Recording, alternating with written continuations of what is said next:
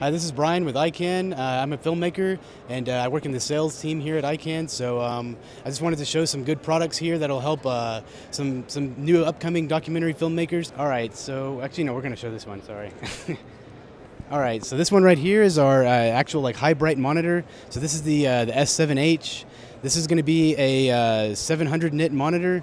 So, you know, the average monitor that you see, like computer monitors, around like 350 nits, somewhere around there. But this one is actually 700. So, you know, you, you wouldn't even necessarily need the eyepiece for this one. So, if you don't have like time to like kind of fold down the eyepiece, you get kind of more like a run and gun and you need to get quick shots, this will be a good like high bright solution for you. So, you can actually do like a focus assist. We have false color for exposure.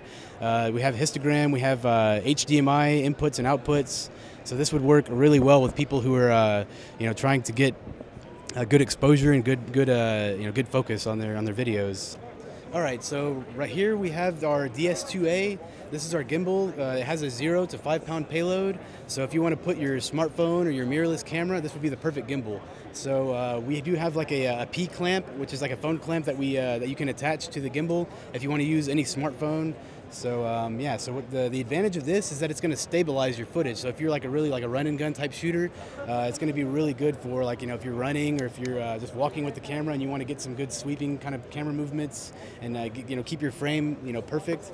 Um, it's going to really help with that. So it's just going to avoid any kind of jitteriness, any, anything like that with your footage. Yeah, this would be good for anybody that's uh, you know just needs to stabilize, you know, get really stabilized footage if they're just like you know on the field and they need to get some uh, you know really steady shots. It kind of like looks similar to like a you know a dolly movement or like a, a, a steady cam kind of movement. So yeah, this is really a good product for stabilizing your footage.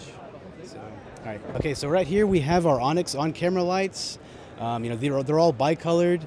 Um, so that means that you can change the color temperature from tungsten to daylight.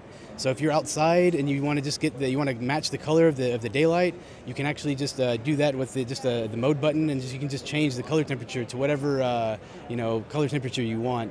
So yeah, these are the Onyx series lights, and yeah, they're really good for uh, for documentary filmmakers.